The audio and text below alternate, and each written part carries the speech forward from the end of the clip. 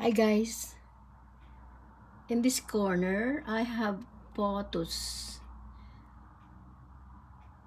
Just want to show you my photos. They are doing well.